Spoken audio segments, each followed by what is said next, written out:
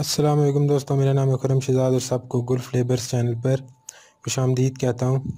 आज की इस वीडियो में हम देखेंगे कि आर टी ए के ट्रैफ़िक फ़ाइन्स पर डिस्काउंट कैसे हासिल करना है और ये 2020 में कितना डिस्काउंट आपको मिलेगा।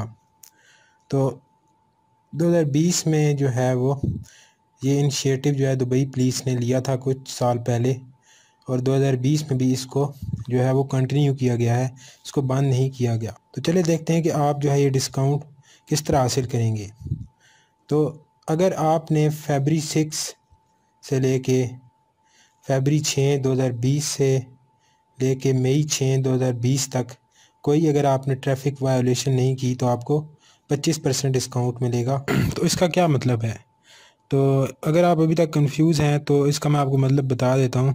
इसका मतलब ये है कि अगर आपने नवंबर पाँच 2019 में कोई आप पर ट्रैफ़िक फ़ाइन लगा था और उसके बाद आपने तीन महीने तक, तीन महीने तक आपने कोई ट्रैफ़िक फ़ाइन आप पर नहीं लगा तो तीन महीने बाद जो है आपको पच्चीस परसेंट डिस्काउंट मिलेगा। तो इसी तरह ये जो फ़ाइन है ट्रैफ़िक फ़ाइन उस पर आप मज़ीद भी डिस्काउंट हासिल कर सकते हैं। मिसाल के तौर पर अगर आप नौ महीने नवंबर छः तक जो है फेबरी छः से लेकर नवंबर छः तक कोई ट्रैफ़िक फ़ाइन या फिर नहीं लगता है ट्रैफ़िक ऑफेंस नहीं लगता तो आपको पचहत्तर परसेंट तक डिफाइन जो है वो डिस्काउंट मिलेगा आपके जो पिछले ट्रैफ़िक फ़ाइन है उस पर। दुबई पुलिस के पास जो है, ये सारा रिकॉर्ड मौजूद होता है कि आपने कब कब ट्रैफ़िक फ़ाइन आप पर लगा है। तो जब आप कार रजिस्ट्रेशन के लिए दोबारा जाएँगे या रिन्यू करवाने जाएँगे, और या तो आप उन्हें सोच लिया कि अब मैं ट्रैफ़िक फ़ाइन पे कर देता हूँ तो आपको वहाँ पर ये डिस्काउंट मिल जाएगा।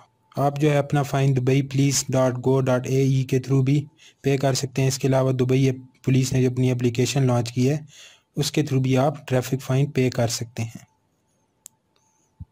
आपने सिंपल बस कार की डिटेल लिखनी है, और आपके सामने फ़ाइन्स जो है वो आ जाएँगे। अगर आप उस पर डिस्काउंट लगा हुआ तो आप पे पर दबाएँगे तो आप वो डिस्काउंट हासिल कर सकेंगे और फ़ाइन पे कर सकेंगे। और ये जो डिस्काउंट है, वो जो है, जो जिनकी गाड़ियाँ दुबई में रजिस्टर्ड हैं, उन पर ही लगेगा। इसके अलावा और कहीं नहीं लगेगा। इसके अलावा ये जो डिस्काउंट है, वो प्राइवेट कंपनीज़ की गाड़ियों पे रेंटल ऑफ़िस की गाड़ियों पे और पब्लिक और प्राइवेट जो ट्रांसपोर्ट की कंपनीज़ हैं, उनकी गाड़ियों पर ये डिस्काउंट नहीं लगता।